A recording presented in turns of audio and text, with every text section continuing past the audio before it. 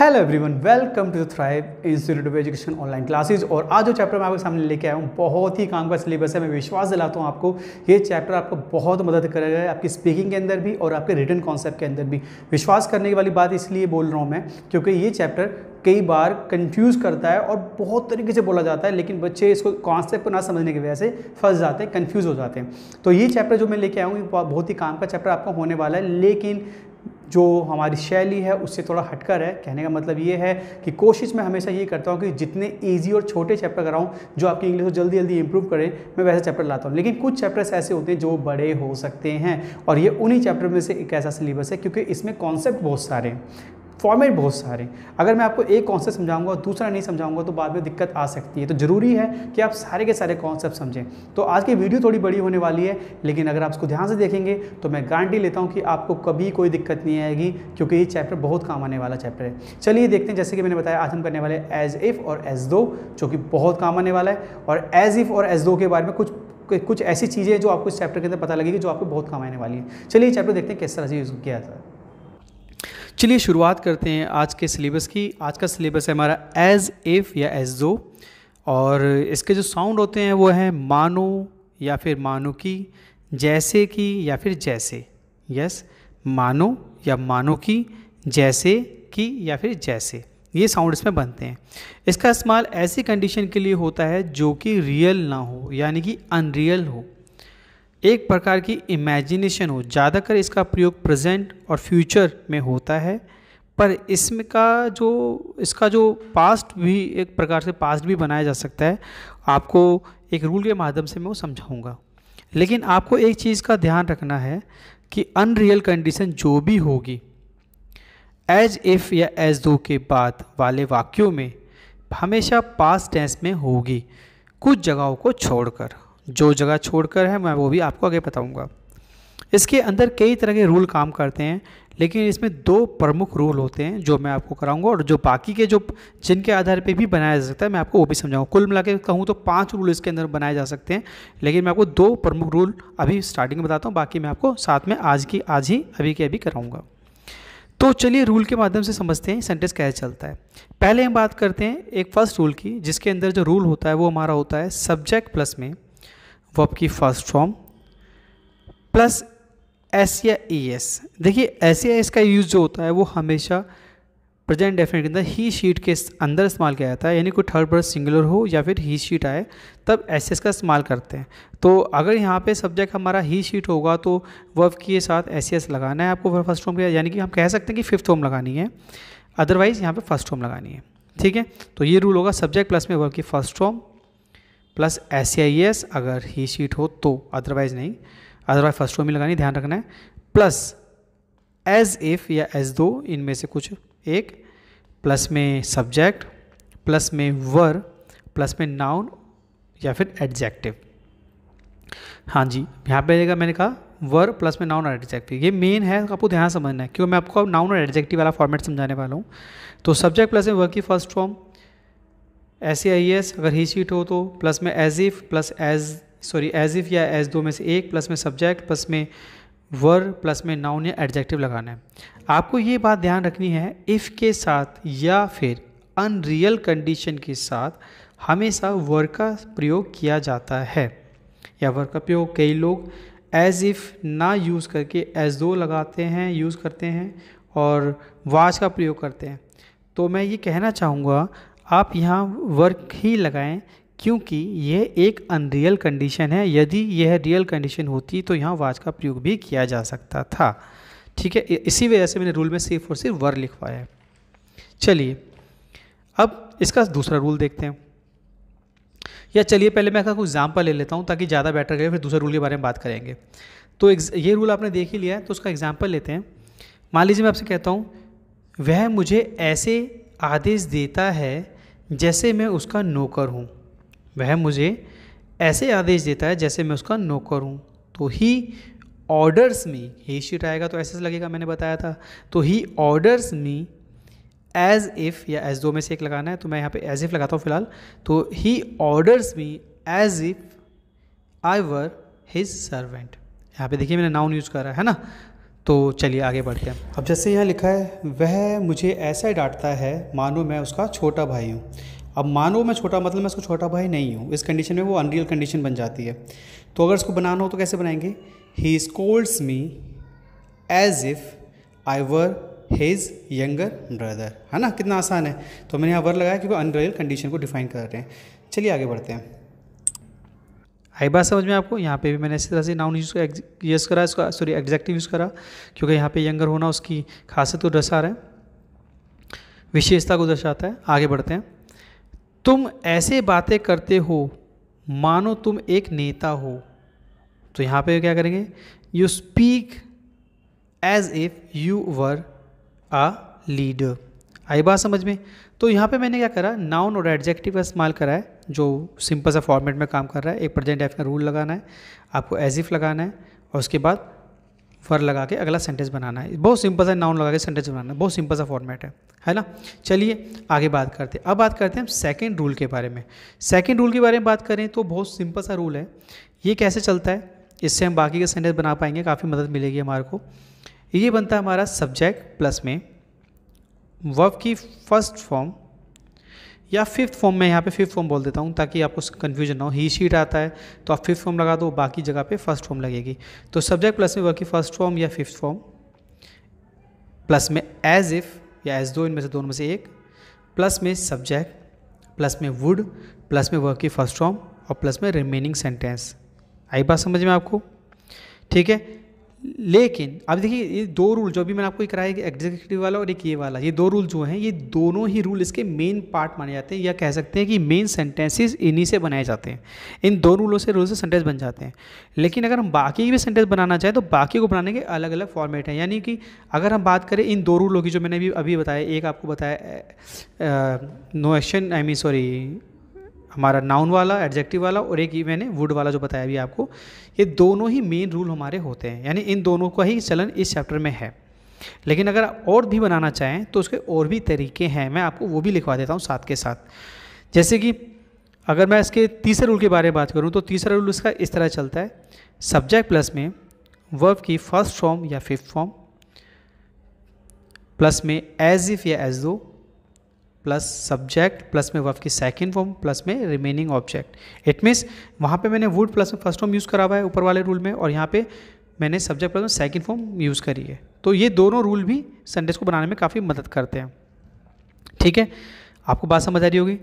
ये हो गया तीसरा रूल एक चौथा रूल भी इसका देख लेते हैं। वो चौथा रूल कैसे काम करता है? वो देखिए सब्जेक्ट प्लस में वर्ब की फ़र्स्ट या फिफ्थ फॉर्म प्लस में एज या एफ़ या फिर एज दो प्लस में सब्जेक्ट प्लस में हैज़ या हैव, या फिर हैड, प्लस में थर्ड फॉर्म प्लस में ऑब्जेक्ट यहाँ पे हैज़ या जो हैव, हैज़ या हैव या हैड जो भी आप लगाएँगे, ये टेंस के आधार पे लगाना है आपको। प्रेजेंट है तो हैज़ हैव लगाना है और पास्ट है तो आपको हैड लगाना है।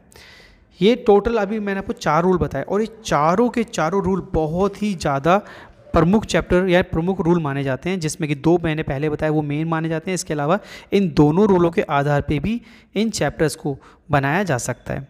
चलिए तो जो एडजेक्टिव और नॉन वाला है, वो तो बिल्कुल अलग है। उसका जो फ़र्स्ट रूल है, उसको तो आपको छेड़ना ही नहीं है। वो तो सिर्फ़ आपको नोएशन यानी हमारे नाउन वाले और एडजेक्टिव वाले सेंटेंस में ही काम आएगा, उसका वो यूज़ कहीं पे भी नहीं है, लेकिन जहाँ पे दो वाक्य हैं, दो वर्ब वाले फॉर्मेट आ रहे हैं, उस जगह पर हमारे इस दूसरे नंबर का, तीसरे नंबर का और चौथे नंबर का रूल काम कर सकता है।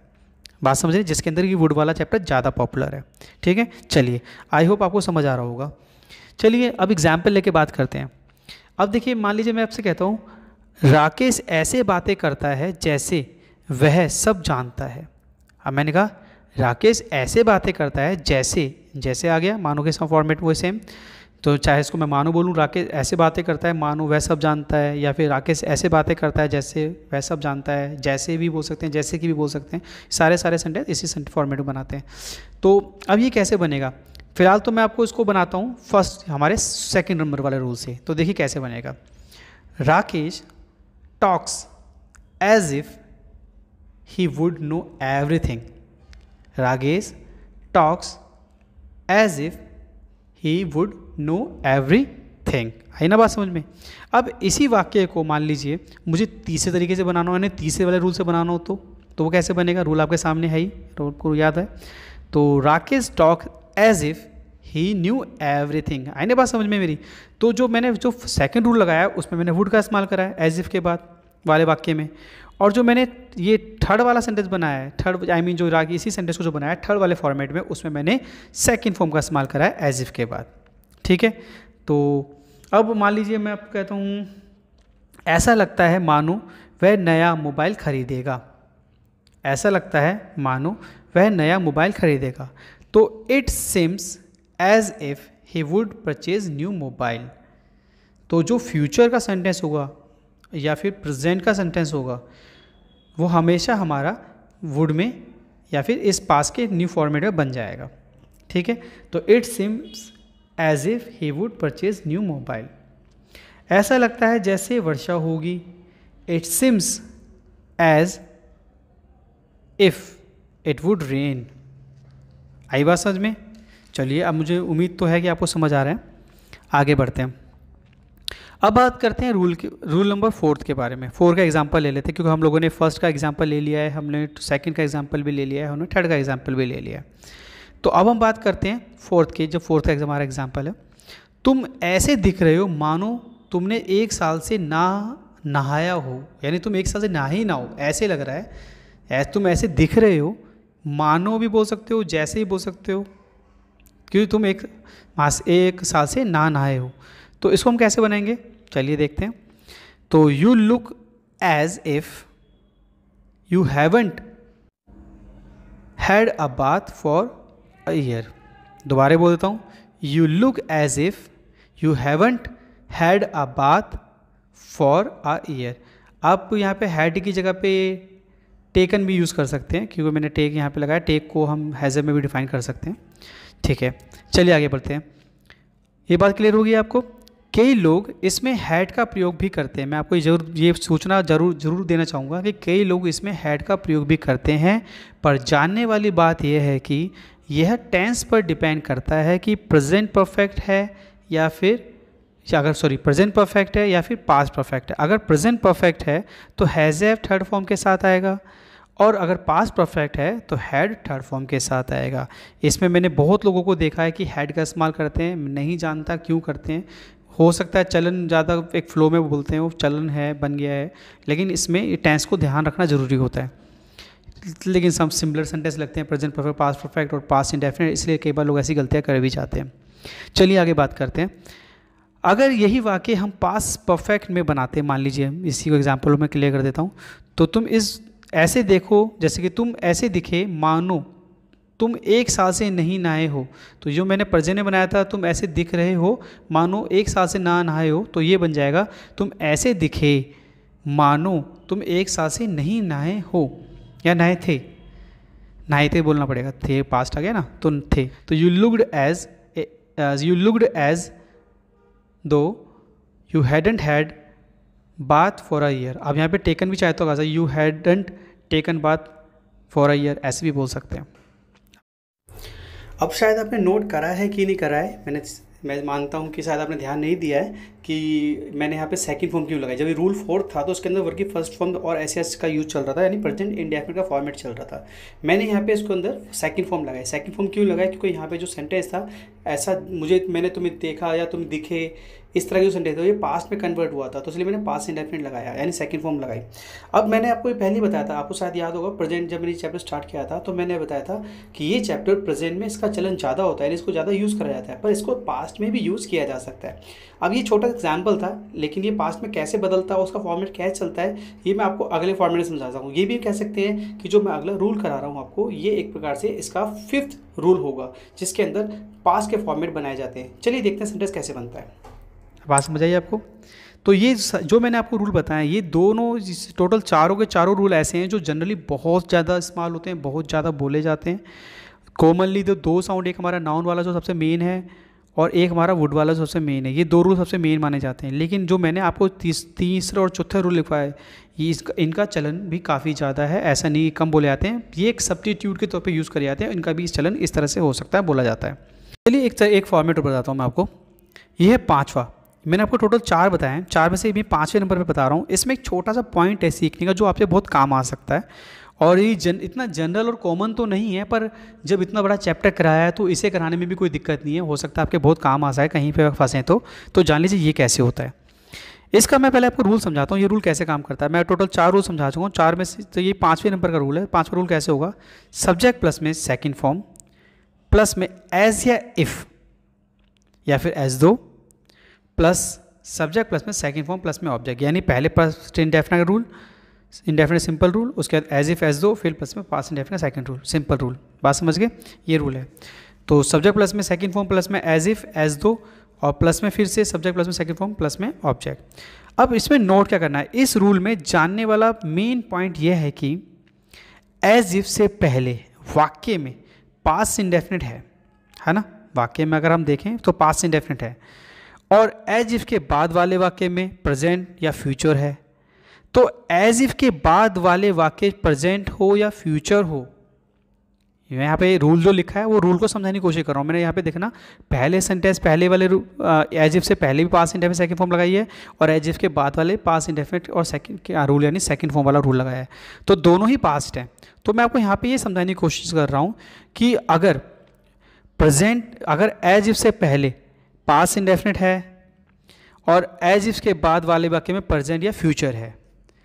तो अगर एज इफ़ के बाद वाले वाक्य में प्रेजेंट या फ्यूचर है, दोनों में से कुछ भी है, चाहे प्रेजेंट और फ्यूचर दोनों ही पास इंडेफिनेट बनेंगे। यानी अगर पहला वाला पास इंडेफिनेट है तो तो तो पास इंडेफिनेट है ही। लेकिन जो अगला वाला, जो एज इफ़ के बाद जो वाला वाक्य आने वाला, हिंदी के हिसाब से बेशक उसमें प्रेजेंट का फॉर्मेट हो या फिर पास्ट सॉरी फ्यूचर का फॉर्मेट हो, दोनों के दोनों हमेशा पास्ट में ही बनते हैं। ज़्यादा बेटर होगा, मैं एग्ज़ाम्पल क्लियर कर समझा देता हूँ। जैसे कि मैंने कहा, ऐसा लगा मानो, मैं तुम्हें जानता हूँ। ऐसा लगा, मैं तुम्हें जानता हूँ। अब आप ध्यान रखो, ऐसा लगा मानो, अब ये तो पास्ट है ही, ऐसा लगा पास्ट इंडेफिनिट है। मैं तुम्हें जानता हूँ, मैं तुम्हें जानता हूँ जानता हूँ प्रेजेंट है प्रेजेंट डेफिनेट का पार्ट है है ना? तो ये प्रेजेंट डेफिनेट बनना चाहिए, लेकिन नहीं। अगर पास पहला रूल पास्ट में है, पहला वाला फॉर्मेट पास्ट में है तो अगला वाला भी पास्ट इंडेफिनिट में ही बनेगा, जो पास्ट कॉन्सेप्ट में ही बनेगा, क्योंकि वो पास्ट में ही माना जाता है। तो ये कैसे बनेगा? It seemed as if I knew you rule पे ध्यान दें। It seemed as if I knew you चलिए एग्ज़ाम्पल और लेते हैं। ऐसा लगा, वह कुछ पूछेगा। ऐसा लगा, वह कुछ पूछेगा। अब देखो, ऐसा लगा, ये तो पास्ट ही है। वह कुछ पूछेगा, ये फ्यूचर है है ना? लेकिन जैसे कि मैंने कहा, अगर पहला पार्ट पास्ट इंडेफिनेट में है पास्ट में है तो अगला वाला भी पास्ट में ही बनेगा एज इफ़ के बाद वाला वाक्य। तो क्या होगा? It seemed as if he asked something समझे मेरी बात? तो यहाँ पे मैंने विलिया शलिया वुड का उचित मान नहीं करा। सीधा मैंने पास इंडेफिनेट सेकंड फॉर्म का फॉर्मेट यूज़ करा यहाँ पे। है ना इजी तो इस तरह से, अब देखिए बहुत बड़ा चैप्टर है रूल बहुत सारे हैं। टोटल देखा जाए तो टोटल मैंने इसके अंदर आपको पाँच रूल कराए जिसमें कि मैंने कहा दो, एक हमारा नाउन और एडजेक्टिव वाला तो अलग ही है, वो तो फ़र्स्ट रूल तो एकदम अलग ही है। लेकिन जो बाकी के जो मैंने दूसरे, तीसरे बनाए हैं और चौथे बनाए ये सारे सिमिलर सेंटेंसेस को बनाने में मदद करते हैं। और जो पांचवा मैंने आपको बताया है इसका सिंपल सा लॉजिक है कि अगर पहले पास इंडेफिनिट का सेंटेंस बन रहा है तो अगला वाला जो वाक्य क्यों दो वाक्य जोड़े जाते हैं हमेशा तो अगला वाक्य जो होगा एज इफ़ के बाद वाला, बेशक वो प्रेजेंट में हो या फिर फ्यूचर में हो, बनेगा वो टेंस के अकॉर्डिंग हमेशा पास्ट में ही, ठीक है? तो ये हमारा आज का फॉर्मेट था। आपको ये ध्यान रखना है प्रैक्टिस ज़रूर करनी है, बिना प्रैक्टिस से क्लियर नहीं होगा। ये बात क्लियर है? आई होप आपको समझ आ रहा है। चलिए, आगे बढ़ते हैं। तो कैसा रहा चैप्टर आपका? आसान था ना? बहुत मुश्किल चैप्टर नहीं था। हाँ कुछ पॉइंट्स ज़रूर थे जो आपको समझने पड़ेंगे। अलग अलग रूल के मैंने समझाया rule one rule two rule three इस तरह के मैंने चैप्टर समझाया आपको। और आप रूल को देखते जाएँगे तो आपको विश्वास करिए चैप्टर अच्छे से क्लियर हो जाएगा। और आपको सिर्फ़ ये ध्यान रखना है, हमको रूल इस इस फॉर्मेट में कौन सा रूल लगाना है। अगर आपको रूल याद है तो कुछ भी दिक्कत आपको नहीं आएगी। तो जैसे कि मैंने कहा चैप्टर बहुत इजीली आपको क्लियर हो जा गया, हो भी गया होगा। अगर आपको चैप्टर अच्छा सा लगा हो, समझ आया हो तो हमारे चैनल को सब्सक्राइब करें वीडियो को लाइक करें और हमारे वीडियो को शेयर भी कर दिया करें ताकि दूसरे लोगों का भी भला हो सके। अगर आपको अच्छा लग रही है तो प्लस में इस बेल आइकन को दबाना ना भूलें ताकि आपको मिलते रहे हमारे नए वीडियो के अपडेट्स जो कि आपकी मदद कर सकते हैं अलग अलग तरह के चैप्टर सीखने में। तो ये थी हमारी आज क्लास जल्दी नए चैप्टर मिलता हूँ। जब तक के लिए बाय बाय